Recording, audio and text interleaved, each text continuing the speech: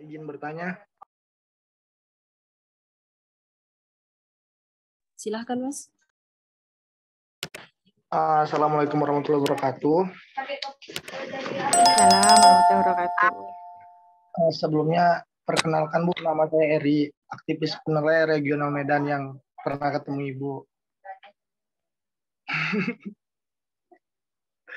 Bu, Eri iya, apa kabar Mas Eri? Katanya mau udah lulus katanya mau balik ke Malang. Ini belum balik-balik juga. Soalnya masih ada yang harus diselesaikan di Medan, Bu. Siap. Ya, silakan Mas, gimana? Eri mau nanya, Bu. Uh, Eri mau nanya, sebenarnya mau nanya pendapat Ibu sih. Menurut Ibu, uh, bagaimana pendapat Ibu terkait tujuan pendidikan yang dicanangkan Tan Malaka, Bu? Mungkin itu saja, Bu. Oke, baik. Apa ada ini mungkin Mas Eri? Uh, spesifik ya? Kalau tadi kan saya saya sudah saya tunjukkan ya bagaimana Tan Malaka itu sebetulnya adalah uh, bagian yang mempraksiskan ini ya uh, Muslim National on the tapi ngilangin Muslimnya. Jadi tinggal National on the doang gitu ya. Tadi ada tiga tujuan utama gitu. Tapi mungkin ada spesifiknya mungkin mungkin yang mengganggu Mas Eri terkait dengan itu Oh, kalau spesifiknya Bu, ah gini Bu, kalau gimana ya? Ah, kalau menurut Eri ya Bu, kalau menurut Eri apa yang dicanangkan Tan Malaka itu bagus. Kalau menurut Eri Bu, kan bagus. Tapi kalau Eri lihat pendidikan hari ini, kayak ah, produk-produk uh, dari pendidikan itu, maksudnya siswa mahasiswanya lah, itu tidak tidak apa ya tidak mencerminkan yang seperti itu bu gitu bu. Gitu bu. Baik ini saya share ulang ya yang disampaikan oleh Teh Malaka uh, uh, ini ya Eri ya. Jadi kalau kita bisa lihat ini Tan Malaka itu saya ngambil langsung dari bukunya Malaka ya supaya nggak salah ya ini ngerujuk dari Malaka langsung gitu ya. Jadi uh, waktu uh, kita harus melihat ya sejarah syarikat Islam yang pecah ya jadi SI merah dan SI putih ya setelah kongres ya waktu itu. Uh, dan tahun 21 uh, eh, itu uh, Tan Malaka bikin buku judulnya Serikat Islam Semarang dan On the Reach jadi spesifik ya Serikat Islam Semarang gitu ya, dan On the uh, yang kemudian dia berbicara tentang bagaimana pentingnya pendidikan. Nah, tadi kan Mas Eri bilang ini bagus gitu ya. Nah, bagusnya itu yang saya pengen tahu sebetulnya menurut Mas Eri itu bagusnya di pendidikan Tan Malaka itu apa? Kalau pada konteks kemerdekaan pada saat itu bahwa eh, gerakan-gerakan yang dihasilkan dari peneleh, kalau kita mau melihat bahwa dapur nasionalisme kan peneleh, kita bisa lihat yang namanya siswanya, uh, muridnya Pak Cokro itu Soekarno yang nasionalis, kita punya Kartosuwiryo yang Islam, kita punya uh, Semaun yang komunis gitu ya. Tapi bukan berarti uh, Pak Cokro uh, komunis gitu ya. Tapi kita bisa lihat bagaimana akhirnya uh, yang namanya uh, apa namanya uh, konsep pendidikan itu ditafsirkan oleh murid-muridnya sesuai dengan kecenderungan dia ya untuk terkait dengan kemerdekaan. Jadi jadi yang terlepas bahwa itu ada komunisme, nasionalisme, kemudian ada Islam ya gerakan Islam gitu ya. Uh, ada satu yang mengikat mereka semua yaitu apa pencapaian kemerdekaan Indonesia gitu ya. Jadi kalau mungkin dalam konteks bagusnya ya mungkin itu yang mungkin Mas Eri anggap bagus. Tapi kalau tadi saya sampaikan Malaka itu punya konsep gimana sih tentang pendidikan gitu ya Tan Malaka. Satu tadi ya memberi senjata cukup buat mencari penghidupan dalam dunia kemodalan. Senjata di sini bukan bekal. Coba bandingkan ya, bandingkan bahasa Cokro Aminoto. Saat Pak Cokro itu bicara tentang pendidikan, isinya adalah menanam benih. Itu itu bukankah itu menunjukkan kehalusan perangai beliau ya. Jadi kalau mendidik kita menanam benih, ayo kita berikan benih, kita menanam benih. Benih apa? Benih eh, apa namanya? kesadaran budi pekerti, benih kecintaan terhadap bangsa, benih, benih, benih menanam. Kalau kalau kata orang gitu ya, orang yang bisa nanam itu tangannya dingin, tangannya itu dari oleh begitu banyak obras sebetulnya ya, me, kamu tuh merawatku jadi kayak gitu ya benih tapi yang menarik ya bagaimana Malaka itu mendefinisikan pendidikan. Beliau mengatakan apa? Memberikan senjata. Jadi bukan benih loh, ini dua, dua hal yang kontras ya. Nah, dan mungkin bagi teman-teman yang kemerdekaan, ya ini yang penting ya, mem memberi senjata ya. Untuk apa? Untuk uh, penghidupan dalam dunia kemodalan. Kemodalan itu modal kalau dalam istilah uh, akuntansi modal itu kapital. Nanti kalau kita bawa ke faham ya kapitalis gitu ya. Jadi kalau kita lihat gerakan uh, komunis, gerakan kiri, kembali ke akarnya di Rusia gitu ya, di Eh, di Jerman gitu ya, kita bisa lihat bahwa memang materi itu menjadi sesuatu yang membuat uh, uh, apa ya, membuat indikator terjadinya penindasan atau enggak. Jadi distribusi materi. Sehingga kalau katanya Marx dulu kan ya ada kaum proletar, ada kaum borjuis kan gitu ya. Jadi akhirnya apa? Masalah pendidikan tuh masalah kamu dapat duit apa enggak, kamu cukup punya kekayaan apa enggak, sehingga tujuan pendidikan Tan Malaka menjadi sesuatu yang kesukaan hidup, kesukaan hidup, dunia modal, kamu punya cukup kekayaan untuk bisa berbisnis, kamu punya kesukaan hidup. Jadi pikirkan kamu harus suka dalam hidup, kamu harus bahagia, kamu harus happy, kamu jangan tertindas gitu ya. Nah, oh tertindas itu bagus gitu ya. Tertindas itu bagus. Tapi tertindas dalam konteks ini nggak tertindas tidak tidak tidak uh, apa secara secara kesejahteraan uh, ini ya kesejahteraan kebahagiaan itu. Tapi lebih ke arah kesejahteraan kebahagiaan materi gitu. Nah baru setelah itu poin ketiga ya menunjukkan kewajibannya kalau pada berjuta berjuta atau kaum kromo dan kaum kromo ini adalah kaum kaum yang uh, asli ya native gitu ya itu apa ya kaum Hindia gitu ya artinya kalau kamu sudah bahagia, kamu baru cukup modal baru, kamu bisa bercerit ber, ber apa ya bukan bercerita, berkontribusi pada membebaskan kaum kromo. Jadi pembebasan itu di akhir. Ya. Nah, tentu saja ini sangat berbeda gitu ya dengan uh, Muslim National Underwich yang tadi saya sampaikan ya.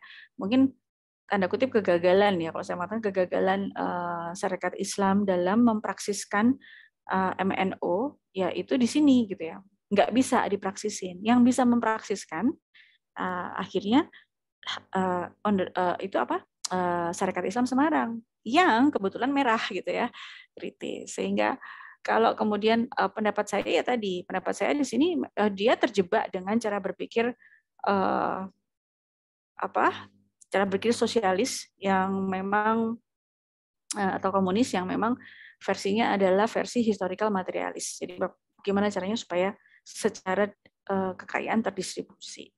Dan itu menurut saya berbeda sekali dengan MNO versi Pak Cokro yang selalu berbicara tentang uh, apa namanya budi pekerti dan seterusnya gitu ya. Ini kan beda banget. Ini bahasanya Pak Cokro halus banget ya. Ini bahasa asli beliau menanam benih menanam benih. Keberanian. Nggak nggak bicara tentang materi. Coba teman-teman lihat ya benih gitu ya. Dan kalau kita kemudian merujuk kenapa kok beliau sampai begitu ya? Uh, pada uh, saat beliau membuat program asas dan program tandim ya tafsir program asas dan tandim kalau saya salah tolong saya benerin itu uh, bercerita orang orang-orang di sekitar Pak Cokro bahwa beliau itu seperti orang yang bangun dari tidur kemudian mengigau terus beliau bilang harus berdiri karena ada Rasulullah datang lalu tiba-tiba beliau berbicara dengan bahasa Arab yang sangat fasih kemudian begitulah ilham itu turun pada beliau gitu ya tentang program ini ya program uh, tafsir atas program asas dan tandim yang tadi tafsir atas program tandim salah satu bentuk perlawanan adalah melalui pendidikan tetapi tidak seperti Talan Malaka yang menggunakan kata-kata mempersenjatai, beliau malah menggunakan kata-kata seperti menanam benih. Nah, jadi mungkin itu yang akan melihat uh, membedakan ya uh, Muslim National Underwich dengan National Underwich yang versi Tan Malaka. Gitu sih Kak, kalau menurut saya. Tapi nanti monggo kalau teman-teman ada uh, apa perbedaan cara pandang, nggak apa-apa. Ini diskusi. Gitu ya Kak Eri. Ditunggu di Malang Kak Eri. Ya baik, Bu Ari. Oke, ya, Kak Eri kalau nggak ke Malang didatengin Pak Aji. Ya, Bu. Katanya mau ke uh, batu bara itu ya Pak Haji ya. Jadi kayaknya ya. kamu yang datang. Oke. Siap. Oke. Mungkin ada ini ya Pak Mbak Nur Aida. Kita ke mana dulu nih Mbak Nur Aida? Uh, masih masih menjawab pertanyaan sih Bu, diskusi. Ini uh -uh. ada yang hands free dua sama yang di Zoom, di chat, di chat ada Bu. Uh -uh. Tapi, Kita ke tapi saya yang... akan bacakan uh -uh. ke yang di chat ya Bu, nggak apa-apa ya? Nggak apa-apa, oke. Okay. Baik, uh, yang di chat ini ada pertanyaan dari Mas Dio Helmansa, mm-hmm. yaitu uh, bertanya kalau jikalau memang pendidikan kita saat ini dibentuk untuk menciptakan buruh serta pekerja yang lainnya, mm-hmm. menurut pandangan ibu, bagaimana dengan kondisi Indonesia di tahun 2045?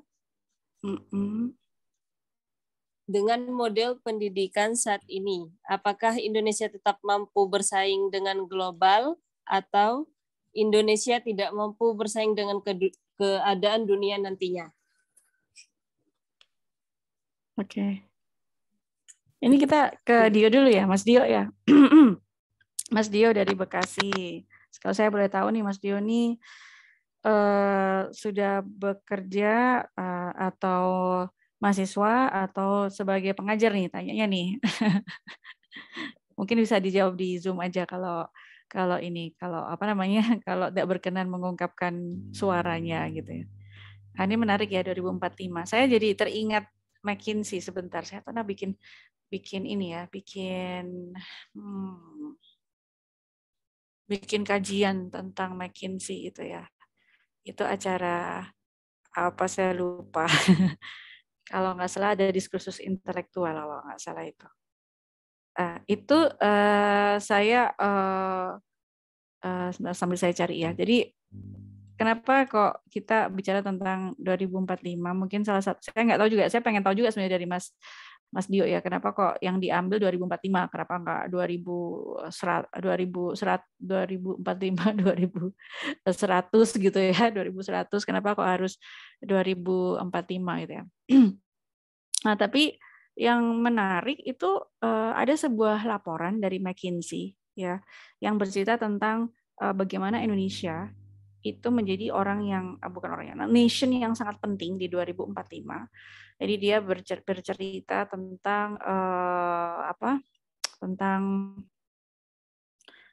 uh, demografi ya jadi tentang populasi manusia tentang pasar gitu ya yang ternyata Indonesia tuh luar biasa keren gitu ya karena uh, kalau kita pandai menyimpulkan adalah Indonesia adalah pasar pasar dunia yang sangat besar gitu ya jadi pekerja yang uh, apa namanya para para para pemuda nanti yang tahun 2045 menjadi uh, de, apa bonus demografi kalau istilahnya adalah orang-orang yang punya pendapatan lebih yang di mana mereka adalah pekerja yang mereka punya uang lebih untuk membelanjakan uangnya.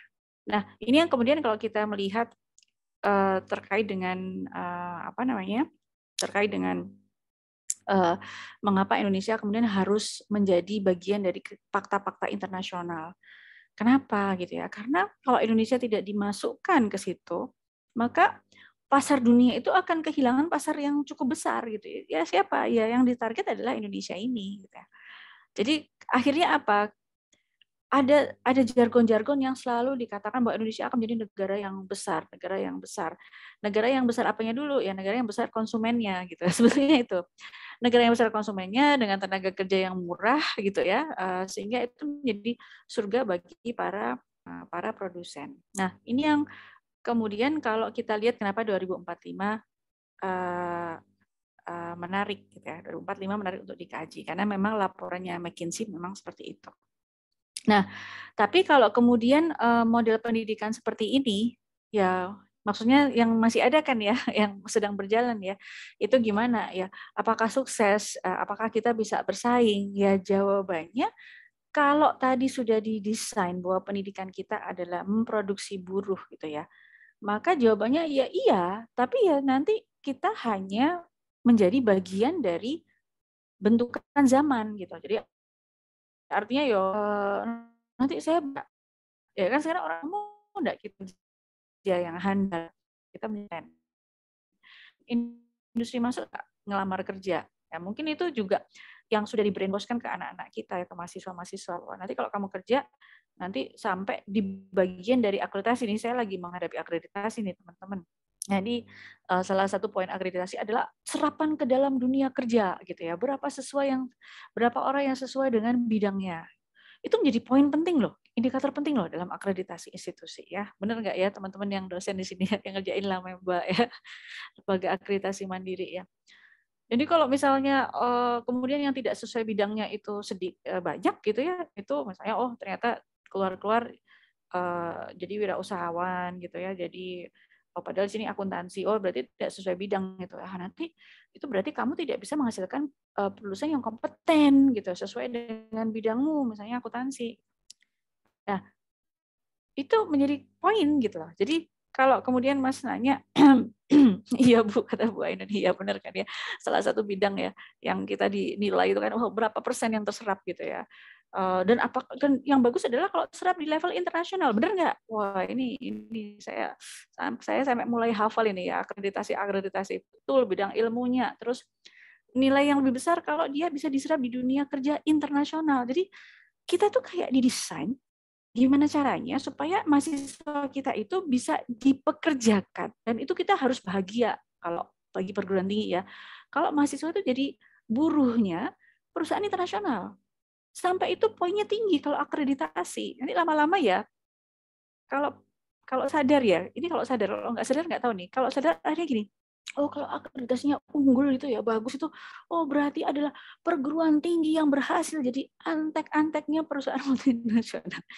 Ini direkam ya, eh, bisa kayak gitu loh ntar ya kalau sadar gitu ya. Tapi artinya apa ya? Ya tadi ya sesederhana itu poin-poin akreditasi itu bagian yang akhirnya melemahkan kita menjadi seorang pendidik yang mampu ya karena pendidikan itu nanti harus sesuai dengan standar-standar dunia kerja. Jadi kalau Mas khawatir ya nanti udah 2045 kita bisa bersaing nggak? Nah, sekarang saya harus tanya ke Mas Dio, bersaing dalam konteks Mas Dio itu apa?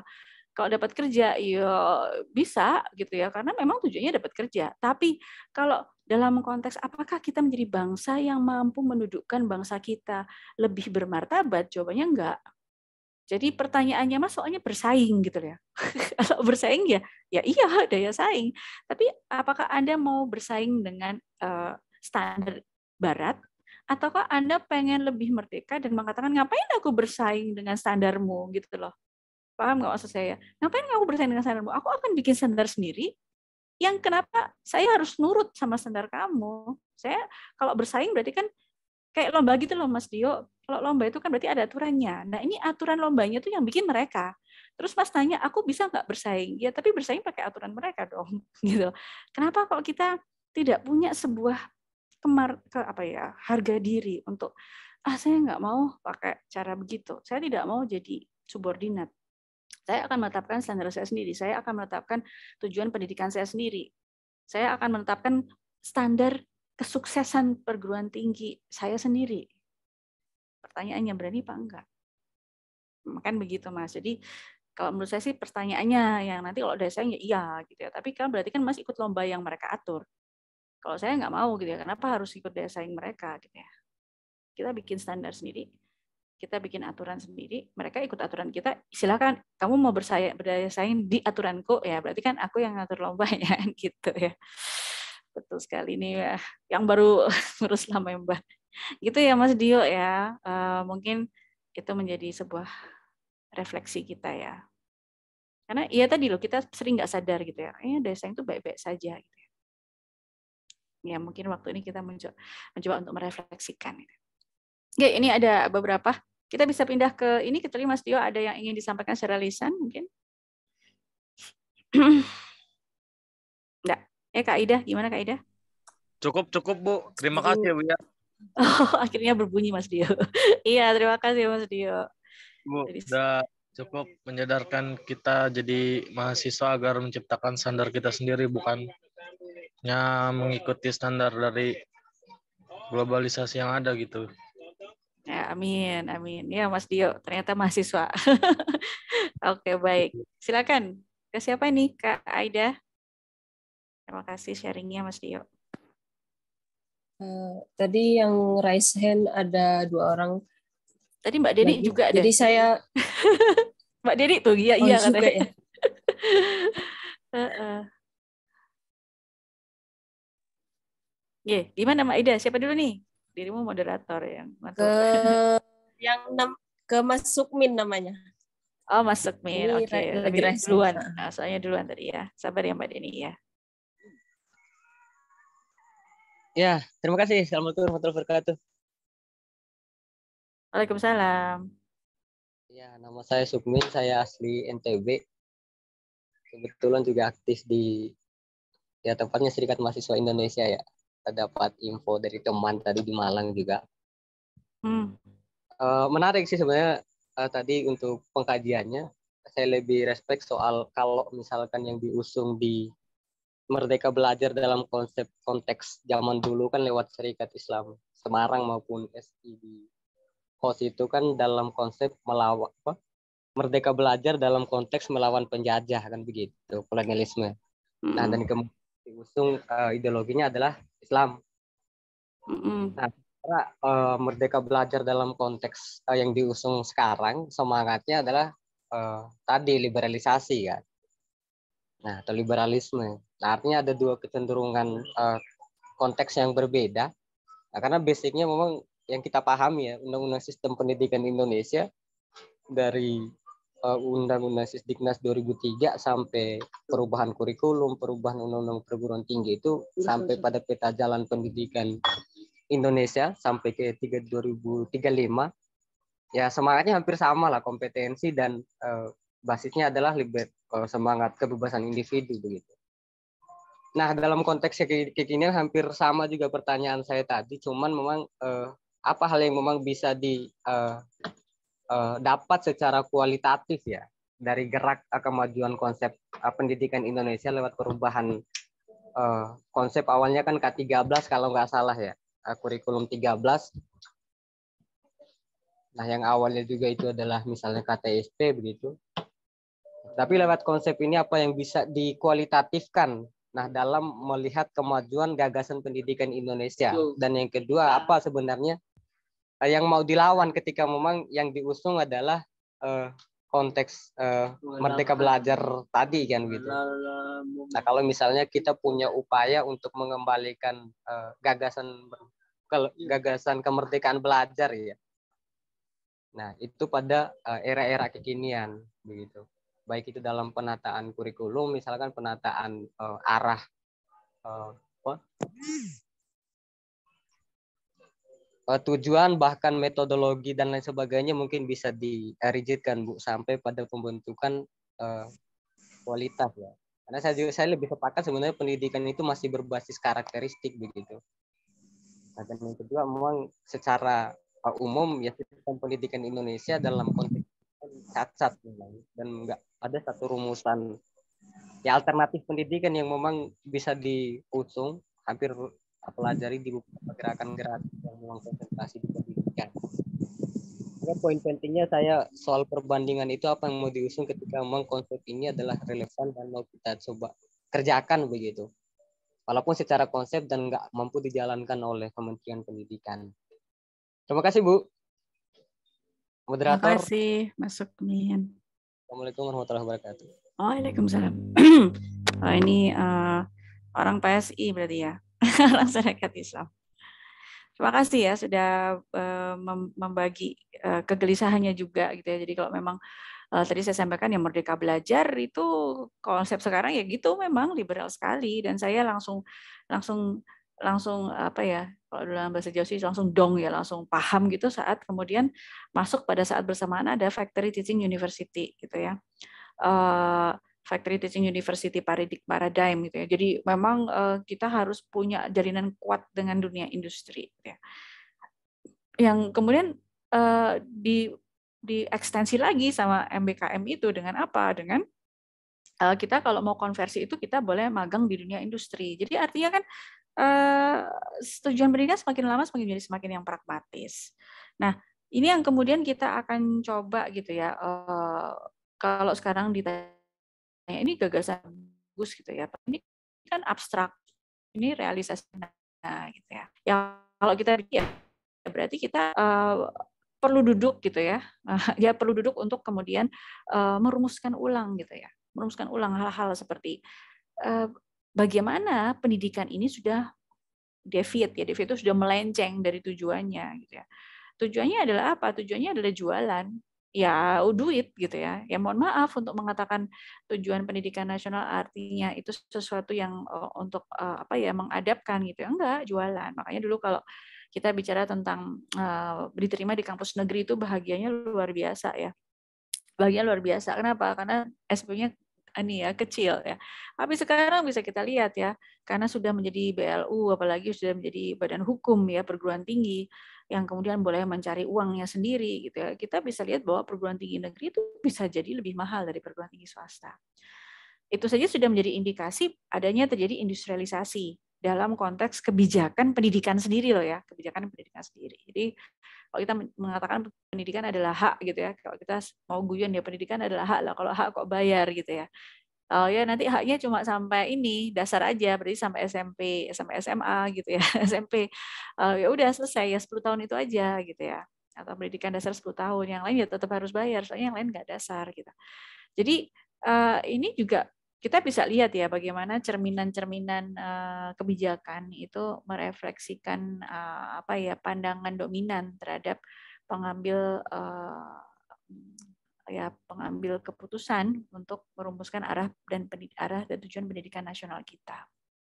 Ya, uh, terus tadi apa yang bisa kita lakukan. Nah, kalau kami di Menela ya kita sudah punya gagasan konkret ya, tapi saya tidak akan menjelaskan secara secara detail di sini. Yang jelas kalau teman-teman uh, ngikuti bagaimana penilai itu bergerak gitu ya, kita bikin yang namanya Masjid Kampus dan Pusat Pembelajaran Gratis sekarang di NTB ya. Yang mulai masuk pun di NTB nih. Harusnya ketemu nih. Ya. Saya mau ke NTB juga nih habis ini mau melihat lokasi ya sampai mana progresnya. Jadi uh, waktu kita bikin istilah masjid kampus aja orang-orang sudah heboh itu ya, sudah heboh ini mau bikin kampus gitu ya. Nah, ini kan kita sedang membalikkan ya sebuah kalau kita menjelaskan ya membalikkan sebuah mindset ya kampus itu biasanya kampusnya dibikin duluan masjidnya ntar belakangan gitu ya. Ini kita bikin kampus masjid kampus dan pusat pembelajaran gratis kok teman-teman lihat di website kita. Jadi kenapa harus masjid kampus gitu ya? Karena masjid itu adalah fungsinya gitu ya adalah basis penanaman nilai yang biasanya kalau masjid buat apa? Buat sholat. Tapi kalau kita belajar ya kata Pak Cokro kan belajar dari sejarah. Jadi kalau belajar dari sejarah berarti nanti uh, kita bisa lihat bagaimana Rasul itu memperlakukan masjid. Masjid itu adalah tempat di mana beliau melakukan uh, pendidikan bagaimana beliau uh, melakukan rapat-rapat politik gitu ya. Bagaimana masjid itu adalah sebagai representasi sebuah keberadaan sebuah peradaban. Uh, buktinya waktu beliau hijrah ke Madinah bukan pasar duluan yang dibangun tapi masjid ya malah dua masjid yang dibangun oleh oleh Rasul saat hijrah. Nah ini yang kemudian kalau ditanya praksisnya Mas uh, Mas Tabri masuk Kim ya tadi ya uh, teman-teman uh, masih silakan coba lihat urup.org gitu ya tentang apa yang kita lakukan gitu dalam konteks. Cuma memang kalau dalam konteks apa yang kita benar-benar lakukan, kita sudah menggagas yang namanya on the reach penilai gitu ya. Nanti kalau Mas uh, Sukim tertarik gitu ya, silakan gabung. Nanti kita akan buka gitu ya. Inilah on the reach penilai. Bagaimana pendidikan yang kita mencoba praksiskan dari apa yang disampaikan oleh Pak Cokro menjadi pendidikan yang punya uh, bentuk yang lebih konkret. Jadi kurikulumnya apa kita udah bikin. Apakah nanti uh, apa namanya gimana caranya menolak industrialisasi gitu ya. Yang paling gampang gimana cara menolak industrialisasi. Kayak yang lagi rame ya jual beli ijazah ya. Ijazah kan bagian dari industrialisasi pendidikan. Nah, itu gimana? Nah ya sebenarnya kalau kita uh, apa namanya uh, ditanya ya kita punya jawabannya gitu. Tapi yang jelas poin-poin penting yang hari ini saya sampaikan itu adalah basis gitu ya basis yang kemudian kita pakai untuk membuat sebuah konsep pendidikan. Tidak apa-apa kita mulai, gitu ya. Kita mulai. Ya artinya uh, selama kita akan tadi ya kalau kata Mas Dio, selama kita akan uh, bersaing di tempat yang sudah didesain, ya kita nggak akan bisa jadi menang karena aturannya udah mereka yang buat. Tapi kita mencoba seperti Rasul yang lakukan gitu ya, hijrah. Hijrah itu berarti ya Eh, memulai dari awal gitu ya, memulai dari awal yang kemudian nanti akan membesar. Yang besar bukan karena saya, bukan karena orang-orang, tapi karena kita. Kita semua bekerja di sana mewujudkan sesuatu yang akhirnya meleburkan diri kita menjadi umat gitu ya. Nah, udah ya insya Allah itu akan menjadi sesuatu yang akan nyata mewujud. Jadi kalau ditanya insya Allah gitu, Mas Sukmin kita udah punya program gitu ya. Jadi silakan uh, jalan-jalan ke laman aktivis penilai ID atau jalan-jalan ke Urup or ID gitu ya. Kita punya Urup itu awalnya Universitas Rumah Penilai ya, tapi akhirnya kita uh, mencoba kalau kita bilang universitas nanti orang mikirnya wah berarti pendidikan gitu ah, kita ganti aja gitu ya. Jadi kita lebih radikal lagi kita bilang masjid kampus gitu. Ya. Kira-kira begitu. Semoga nggak puas ya supaya uh, jadi pengen lebih tahu gitu. Itu mungkin Kak Aida. Kita Terima kasih Bu. Mm -mm. kapan-kapan ketemu lah kalau kita ke Sumbawa. Kita sering ke Sumbawa ke NTB kalau Mbak. Oh. ya. Ih. Mas Gali ya sekarang. Gimana ini? Ada Mas Gali, ada Mbak Deni. Gimana Mbak Ida? Uh, ke Mas Gali aja, Bu. Dipersilahkan Mas Gali.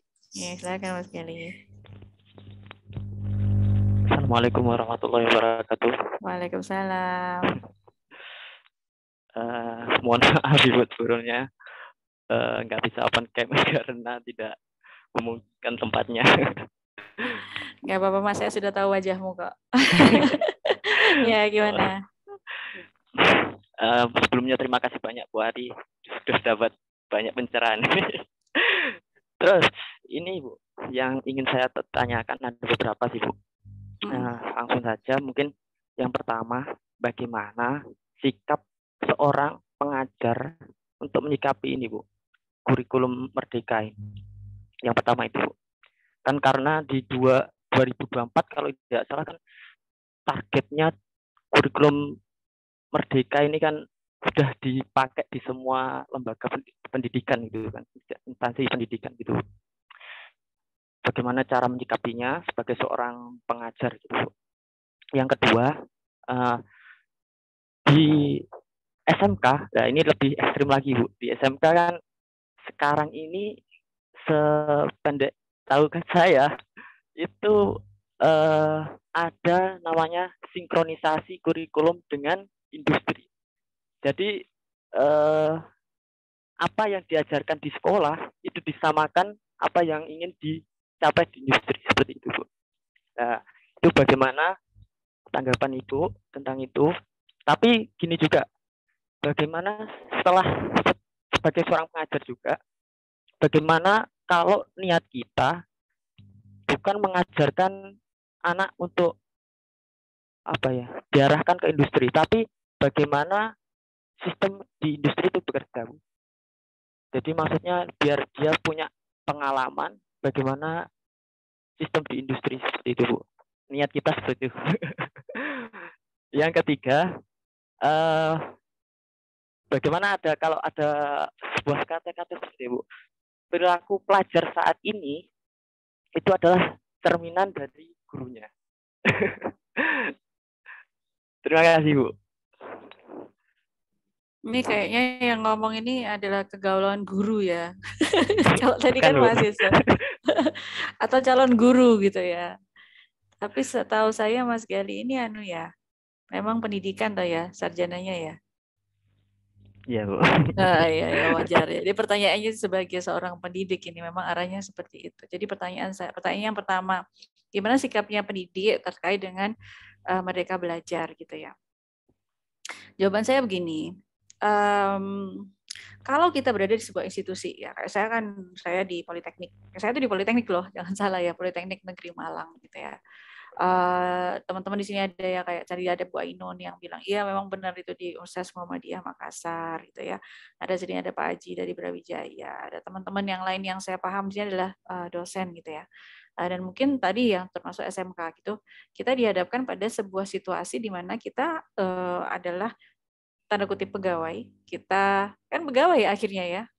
Apalagi uh, nanti ada istilahnya pegawai yang dikontrak gitu ya untuk untuk uh, apa bekerja sebagai pendidik. Kan bukan pendidik ya kita pegawai yang dikontrak sebagai pendidik.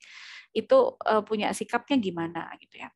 Kalau saya sebagai pendidik gitu ya pendidik, maka saya akan selalu mengarahkan anak-anak saya, saya mengarahkan mereka anak-anak saya untuk selalu berpikir kritis, untuk selalu menyadarkan kamu hidup di dunia ini untuk apa. Itu saya sebagai pendidik. Jadi eh, saya melihat bahwa sebagai pendidik apa yang saya omongkan itu nggak ada bedanya. Jadi kalau misalnya saya di kelas pun gitu ya, terlepas dari apakah eh, apa namanya mereka adalah vokasi atau bukan, saya akan selalu mengatakan tentangnya kamu jangan mikir tentang dirimu sendiri, kamu jangan apa namanya berorientasi pada kekayaan, ingat tujuan hidupmu apa begitu ya. Apalagi di mata kuliah saya ya akuntansi yang sangat sangat erat hubungannya dengan laba. Saya kadang-kadang sering kasih uh, berbagai macam role play gitu ya. Lalu mereka kalau mengambil keputusan saya ya saya sindir ya. Kamu tuh nggak punya hati sih ya. Kamu tuh manusia macam apa begitu ya. Jadi artinya itu jiwa saya sebagai pendidik yang tidak mungkin saya mengingkari itu gitu ya. Nah, terkait dengan karena vokasi ya, saya ambil yang ekstrim sekalian ya, SMK juga ya vokasi sebagai dunia kerja gitu ya. Maka yang uh, saya juga punya tanggung jawab gitu ya untuk memastikan bahwa mereka mampu.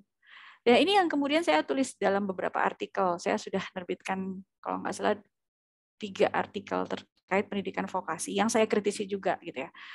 Padahal pendidikan vokasi itu kalau mereka terampil, nah kata kuncinya adalah terampil. Terampil itu artinya bisa sesuai teknis itu bisa. Tetapi harusnya tidak hanya terkait dengan mereka bisa, tapi mindset mereka dibenerin. Mindsetnya adalah apa? Ya kalau kamu bisa, kenapa kamu harus jadi buruh gitu loh?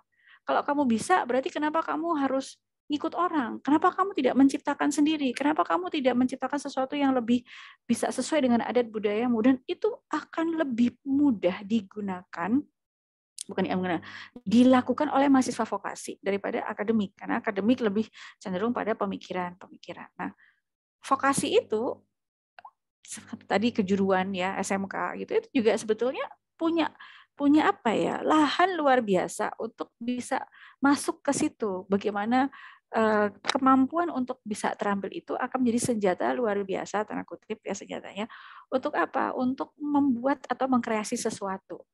Cuma yang jadi masalah kalau di vokasi itu itu kan bukan bukan kreasinya yang diutamakan, tetapi kemampuannya. Kemampuan bisa ini, bisa ini, bisa ini sesuai dengan standar ya.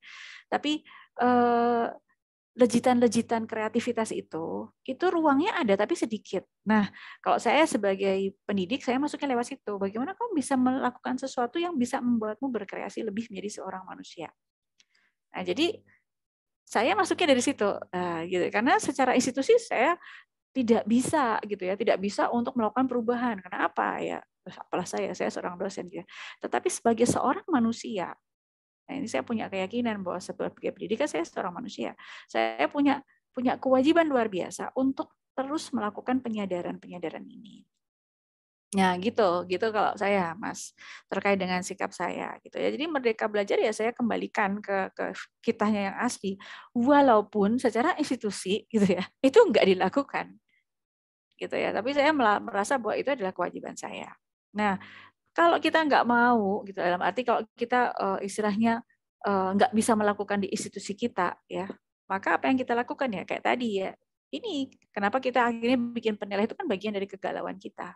Karena semua institusi yang ada sudah mulai ter, bukan mulai ya sudah terkooptasi dengan standarisasi-standarisasi uh, yang menjadi sangat rigid ya dan kita kehilangan kebebasan untuk menentukan jati diri kita sendiri.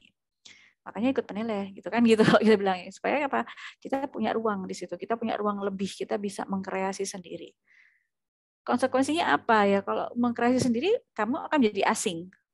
Ya tapi kan nggak masalah gitu ya. Kita menjadi asing di awal nggak apa-apa. Nanti asing di akhir ya itulah berarti kita indikator kita adalah Islam. Karena kalau kata Rasul kan gitu Islam dimulai dengan asing akan berakhir menjadi asing. Tapi kan eh, kita di mana kita selalu mengatakan ya inilah kita.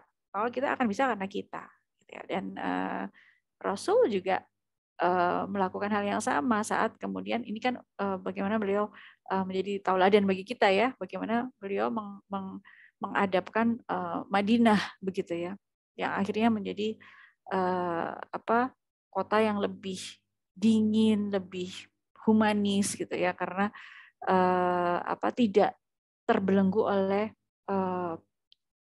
transaksi transaksi uh, atau iklim transaksional ya karena karena pedagang ya kalau kota Mekah itu ya. Nah, jadi kita bisa melakukan perubahan dengan mencontoh seperti itu. Itu pertanyaan nomor satu. Pertanyaan nomor dua, saya aku lupa pertanyaan nomor dua apa. Tadi ada tiga ya. Uh, niat ya, oh niat ya kalau kalau, kalau salah niat. Uh, kalau MBKM tapi niatnya untuk industri, iya ya kayak tadi akhirnya balik ke niat ya. Selagi gini loh mas, kalau kita masih berada dalam satu institusi, ya kita akan bermain dengan gamenya mereka. Kayak tadi kita dalam uh, Mas Dio tadi awal ya, kita mereka kita dalam satu pertarungan yang uh, papan caturnya udah diletakkan ya kita akan bermain dengan cara mereka.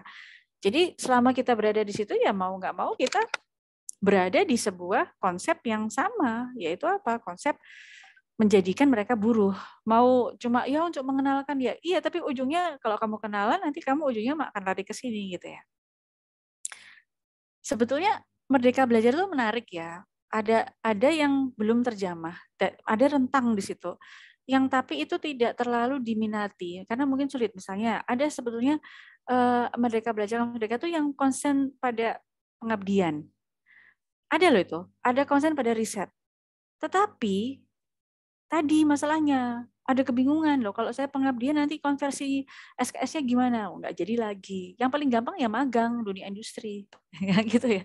Dan ini yang akhirnya sebetulnya uh, karena memang walaupun ada ya tadi ya euforia. Jadi bolehlah pengabdian pendidikan pengajaran magang itu ya. Boleh itu magang itu di industri boleh tapi boleh juga pengabdian. Tapi nanti masalah konversi SKS yang membingungkan akhirnya orang mundur gitu ya jadi artinya itu kayak ada euforia bebas tapi nggak nggak bisa dipakai gitu. Jadi mungkin uh, kalau kita bisa makanya penilaian riset institut itu kan berkali-kali ya mencoba gitu ya masuk ke dalam konsep MBKM kita mendaftarkan diri gitu ya. Ayo ada ini penilaian institut yang siap untuk membimbing sisa untuk mengabdi, untuk meneliti, tetapi nggak diterima. Kita udah mendaftar gitu. Ya.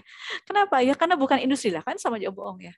Jadi artinya Eh, kita bisa merasakan gitu ya bermain dengan papan catur yang itu ternyata ya kita akan terpinggirkan gitu ya jadi ya padahal akan bikin padahal riset itu akan bikin sendiri uh, sekolah-sekolah relawan riset yang nanti pada akhirnya nggak nggak akan diakomodasi ya nggak apa-apa jadi memang niatnya ya boleh niat lah mas tetapi uh, ya tadi kalau mau di papan catur yang beda ya bikin sendiri kayak dilakukan oleh PNR. Terus yang ketiga tadi apa ya? Sebentar kak, sebentar kak, saya lupa banyak pertanyaan. ingatkan, ingatkan saya. Itu bu. tadi apa?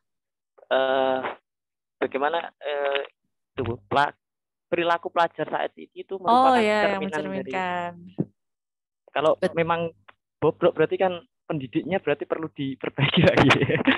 ya iya mas. Ya benar udah, udah dijawab itu. ya udah dijawab gitu ya. Ya sekarang kalau teman-teman bisa ya udah gini deh tanya tanya mahasiswa deh saya tanya mahasiswa yang di sini mungkin sebagian besar gitu ya. Mungkin bisa ngacung ya mahasiswa di sini. Saya yakin ada banyak mahasiswa di sini. Silahkan ngacung ya yang uh, merasa bahwa dalam uh, apa 50% ya yang paling ekstrim dah 50% dari dosen-dosenmu yang ada di kelas itu mengajak kamu berpikir tentang bangsa Indonesia ini secara serius. 50% ada nggak? Ngacung yang ada 50% jadi kalau dosenmu ada 20 gitu 10 setidaknya tuh ayo kita mikir bangsa, ayo kita bersikap kritis ya. Ada yang 5%. Nah, nggak ada ya. Ya udah saya kurangin angkanya uh, 30%. Kalau dari 10 berarti ada tiga yang ngajak. Ngacung silahkan. Nah, nggak ada. Ya udah masih agak Galih terjawab ya. Ya memang. gitu. Jadi mungkin kalau ada yang kritis saja ya itu dipanggil ya ke ruang ke ruang pimpinan. Ya kamu jangan ngajari mahasiswa kritis dong gitu. Nanti kita susah nanti nggak bisa akreditasi ya. Ya. Gitu ya Mas Galih ya. Semoga semakin galau dan uh, semakin berjuang dengan penilai ya. Terima kasih banyak Bu. Oke. Baik, terus uh, untuk next kita uh, Mbak Deni ya. Ayo Mbak Deni, dari tadi sudah menampakkan wajah, pengen banget. Boleh ya Mbak Ida ya, kasihan nanti nangis Mbak Deni. Terima Ayo, kasih Bu Ari. Uh, saya pengen sharing aja sih Bu soal program yang ada di kampus Merdeka. Kali ya, karena sebagaimana uh, program MBKM seperti itu, Bu. Dan kemarin itu uh, semester lalu saya ikut magangnya, terus semester ini saya ikut pertukaran mahasiswanya seperti itu, Bu. Nah, hal menariknya itu, Bu, uh, ternyata program yang ada di Amin. Hal menariknya yang ada di MBKM itu, Bu, mereka uh, apa ya? Untuk program-program yang Ibu sebutkan tadi yang sudah dimention tadi yang kedua kayak contohnya yang uh, kegiatan dari Kemensosnya seperti itu yang pengabdian uh, ke masyarakatnya terus program kampus mengajarnya gitu dan program pertukaran mahasiswa merdeka ini. Uh, sebetulnya program ini apik Bu.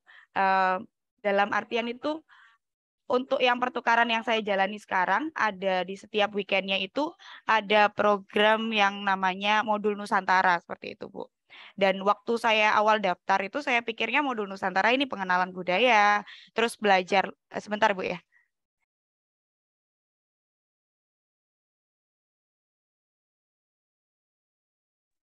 Uh, Nah, uh, di setiap bulannya itu ada program yang namanya Modul Nusantara. Waktu awal saya daftar, saya pikir itu akan ada pengenalan tentang kebudayaannya yang ada di sana dan sempat saya usung dengan uh, teman uh, ide ini sempat saya usung dengan teman-teman waktu di sana di Lombok seperti itu tentang yang uh, routing kebudayaan Nusantara seperti itu. Saya pikir gambaran saya seperti itu. Tapi nyatanya untuk realisasinya uh, kebudayaan Nusantara cuma sebagai ya udah berkunjung saja kayak gitu. Nggak ada nggak ada hal-hal yang kita kulik lebih dalam seperti itu bu. Padahal untuk uh, ketika promosi dan lain sebagainya itu sangat sangat baik sekali seperti itu. Tapi untuk implementasinya ternyata nol seperti itu. Nggak ada hal-hal yang bisa kita tanam di sana. Uh, maksudnya kita hanya mengetahui ya kita hanya mengetahui aja tapi nggak ada yang kita kulik lebih dalam dari sana seperti itu dan uh, waktu yang kita habiskan kan cuma hari Sabtu dan Minggu seperti itu, Bu. Jadi uh, saya merasa kurang gitu di situ. Apa arti dari pertukaran yang belajar tentang lintas budaya ini seperti itu. Uh, terus untuk program yang lainnya memang uh, mengarahnya ke perindustrian ya. Ya. Gimana caranya kita supaya dididik untuk jadi karyawan yang ada di sana, ngikutin ngikutin perkembangan perkembangan zaman, bukan mau jiwa kerugian diri cara kita bisa bernasakan tuh itu nah uh, terus lanjut lagi soal program yang kampus mengajar itu dari teman-teman saya juga uh, ternyata cuma sebatas uh, apa ya cuma uh, Mas Gali juga alumni dari kampus mengajar ya Mas oh, ya? Gitu ya. Mungkin bisa uh, mungkin bisa sharing Mas tentang kampus mengajar tuh kayak gitu kan itu ya uh, saya kurang tahu lebih dalamnya sih Bu. Cuma dengar-dengar dari cerita cerita-cerita dari teman-teman saya yang ikut kampus mengajar ya kita mengajar di salah satu sekolah kayak gitu dan uh, sekolah ya kita membantu para guru untuk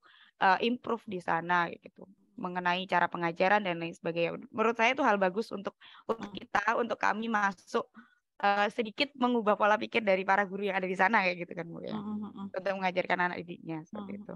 Terus yang berikutnya itu untuk program yang dari Kemensos. Ini ada ada cerita lucu dari mm-hmm. dari teman saya mm-hmm. yang ikut program program ini. Gimana itu? Dia itu dibayar satu hari kami dapat uang 300 uh, mohon maaf kalau ada yang ikut mungkin bisa ikut berdiskusi seperti itu ya.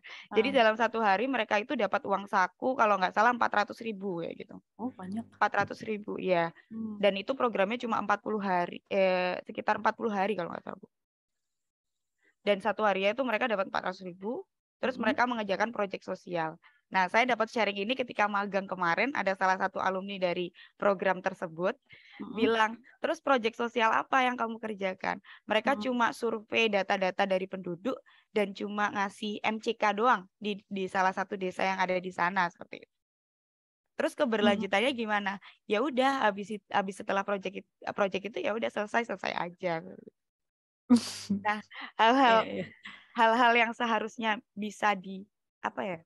Uh, programnya baik seperti itu ya Bu ya. Cuma sistemnya saja menurut saya itu yang buruk gitu, untuk untuk keberlanjutannya dan lain sebagainya. Seperti itu sih Bu. Terus hal yang ingin saya tanyakan Ibu hmm.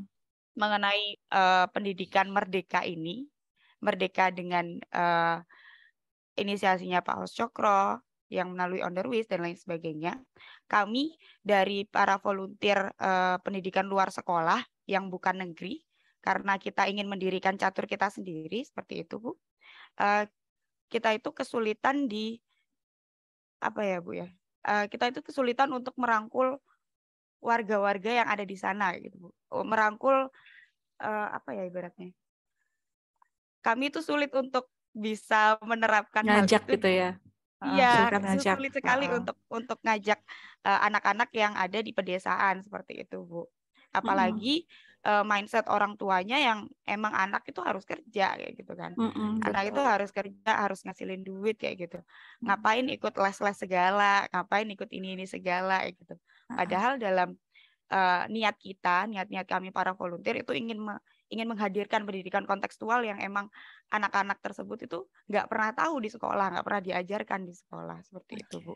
Nah, saran untuk kami para volunteer untuk bisa tetap uh, mempertahankan konsistensinya dan juga hmm. mempertahankan niatnya dan bagaimana hmm. cara kita untuk merangkul warga-warga di sana hmm. supaya uh, juga turut hadir di sana seperti itu. Hmm. Oke, okay, baik.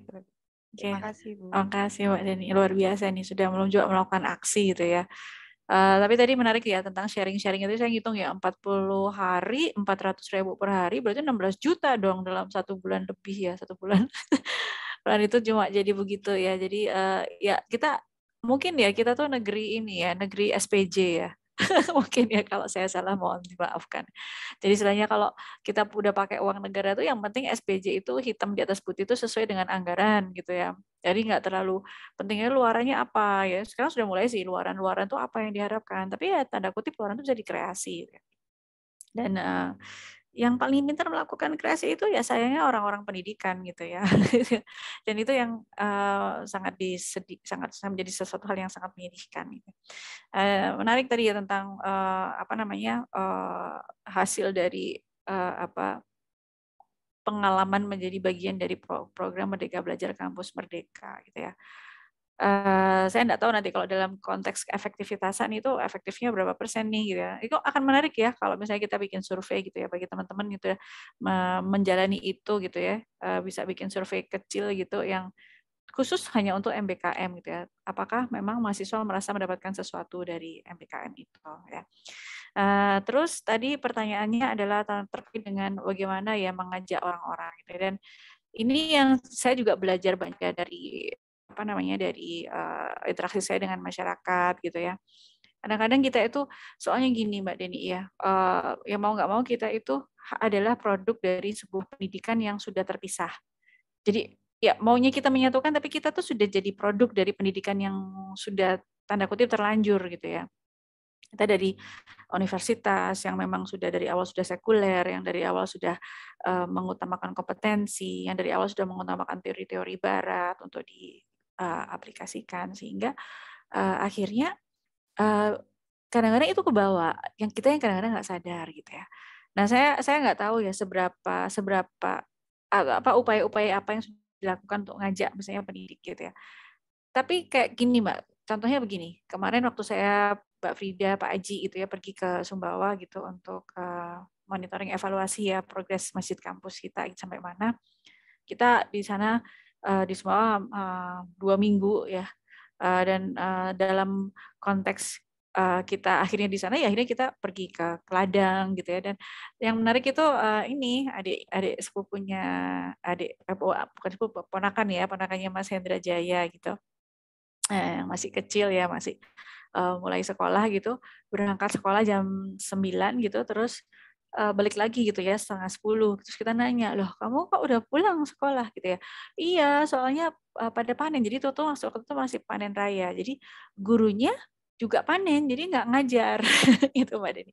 Tadi anak-anaknya ke mana ya? Anak-anaknya akhirnya jadi kamu ke mana sekarang ya saya mau ke ladang. Ladang itu ya kayak uh, ya itu ya tempat mereka bertani gitu ya.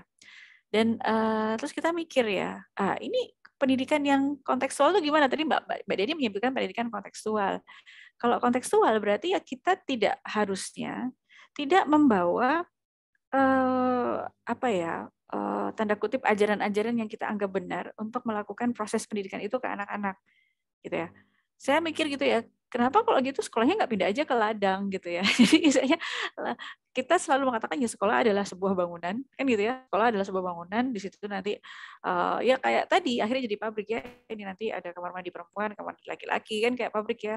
Kemudian nanti ada mata pelajaran jam ini sampai jam ini. Ngapain matematika jam ini sampai ini bahasa Indonesia. Itu kan sebenarnya sangat sangat ini ya sangat ter terstruktur. Nah kalau kita kemudian kita uh, berbicara tentang manusia-manusia ladang gitu ya yang membutuhkan pendidikan nah pendidikan yang mereka butuhkan apa konteksnya apa Nah, ini juga sama waktu masih di Sumbawa, kita punya program namanya membaca. Jadi kita istilahnya mem, me, ini ya, me, uh, mengajar bukan mengajar, mengajak ya, mengajak teman-teman adik-adik kita itu untuk baca. Jadi bukan kita punya taman baca di sini TBM ya Taman Baca Masyarakat itu uh, satu-satunya yang kita bikin dari Peneleh itu di satu kecamatan gitu ya itu kita bikin lalu kita uh, buku itu nggak nggak kepegang. Jadi buku itu sebetulnya aslinya apa? Sudah kita tumpuk di rak gitu ya, tapi jarang ada yang pinjam. Nah ini kita heran kenapa? Oh ternyata ada rasa apa namanya tadi ya nggak tahu ya itu dalam arti teman baca itu apakah boleh baca di situ kita bilang ya boleh ini kita mulai membiasakan jadi istilahnya kita undang gitu ya terus kita bacain ya yang menarik tentang pendidikan kontekstual ini saya coba sampaikan ke Mbak Deni waktu saya kita baca gitu ya kita baca waktu itu baca majalah Bobo ya untuk anak-anak gitu. Nggak apa-apa kita baca apa yang ada gitu kita baca majalah Bobo. Nah, terus dia bicara tentang Bobo itu bikin pie apel gitu ya. Apple pie gitu ya. Apple pie, pie apel gitu ya. Bayangkan anak-anak di Sumbawa, di pedalaman, di Orong Telu yang yang mungkin tidak pernah lihat apel itu seperti apa. Terus eh, ini kita masak apple pie, terus kita mikir, iya ya, buku-buku kita tuh sangat Jawa sentris gitu lah.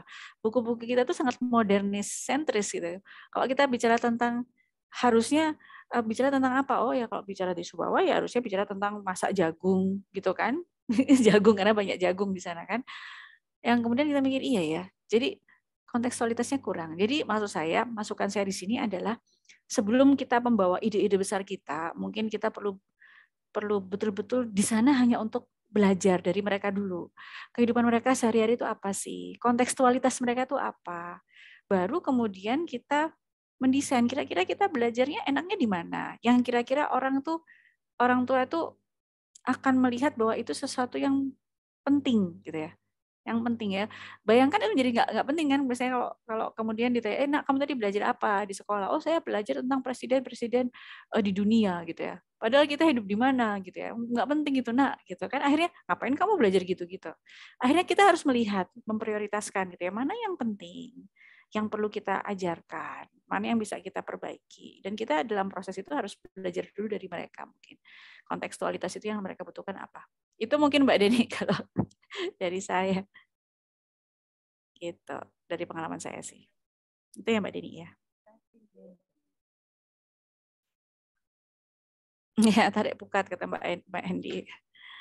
Oke, uh, semoga semangat tetap dengan uh, bikin papan catur sendiri itu ya. Nah, uh, mungkin sebelum masuk ke Mas Rudi, saya mohon izin ya. Tadi saya di anu di kasih pesan sama Pak Aji. Jadi waktu tadi saya menjelaskan tentang konsep India gitu ya, uh, saya berasumsi India itu karena Pak Cokro itu di tarikh agama Islam juga ngomongnya Hindia gitu ya, Hindia. Hindia itu untuk merefleksikan uh, apa namanya uh, apa itu Indonesia. Karena orang Belanda itu ngomongnya kan Hindia ya.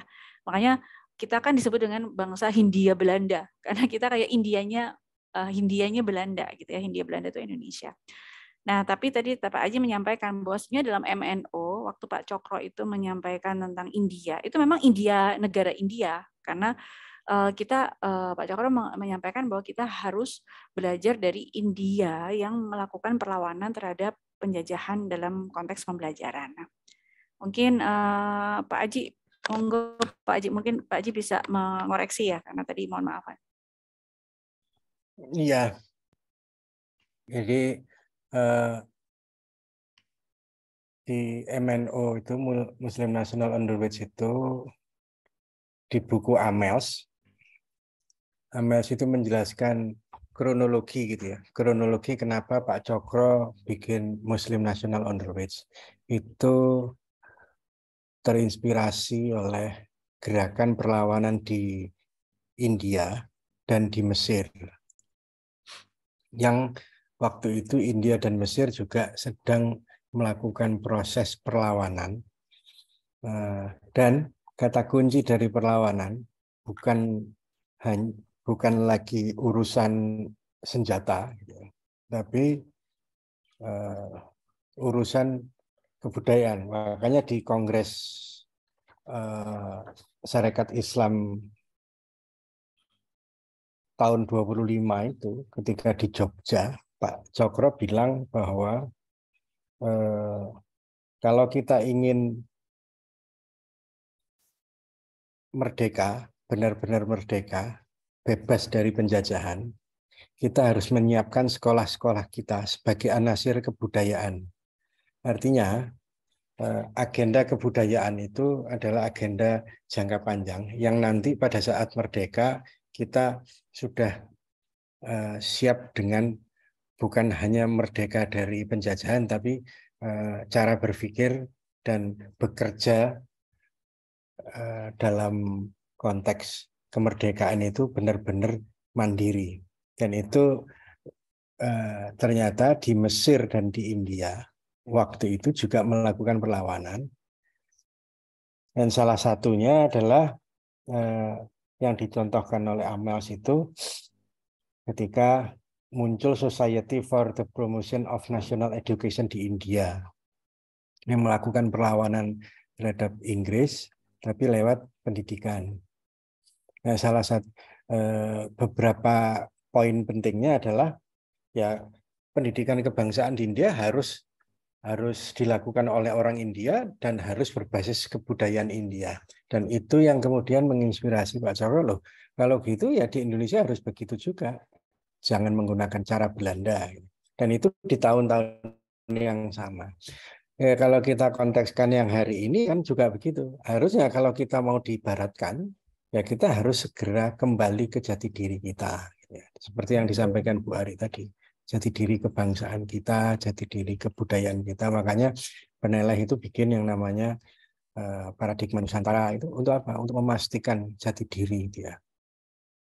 Itu sih uh, apa namanya sedikit tambahan gitu ya, tambahan supaya kita uh, klik dengan mengapa kok peneleh juga bergerak di kebudayaan, kemudian bergerak sampai ke pada titik paradigma Nusantara seperti apa yang dilakukan juga uh, ketika eh, kekuatan-kekuatan liberal dan di masa lalu juga melakukan hal yang sama uh, Belandaisasi gitu ya, Westernisasi kalau sekarang di, masa lalu itu adalah Belandanisasi. Gitu sih Bu Ari. Ya, siapa Haji. Jadi uh, ini sambil uh, kita bicara pada Nusantara, jadi kita punya program teman-teman namanya Resin ya. Resin itu adalah reklamasi supremasi Nusantara. Jadi ini kita betul-betul program ideologisasi gitu ya. Jadi bagian dari apa ya upaya kita untuk ini ya untuk memberikan dimensi kesadaran yang berbeda gitu ya uh, kepada teman-teman. Dan insya Allah di NTB ya nanti tak ada masuk min tadi ya. Uh, ini kita di mana Kak Hendra? Di UIN eh di mana? UTS ya malah ya di UTS ya? Uh, tanggal 8 jadi teman-teman, benar ya saya salah nggak? Jadi tanggal 8 November ini insya Allah Pak Aji sendiri yang akan datang uh, ke UTS untuk uh, menjelaskan tentang paradigma Nusantara.